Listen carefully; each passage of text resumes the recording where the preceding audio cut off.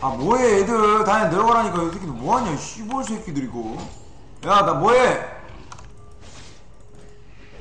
야 내려가 안면 좀 욕심 내지 말고. 아 내려가 그냥. 난 석재할 것이오. 야 다이애나 내려가.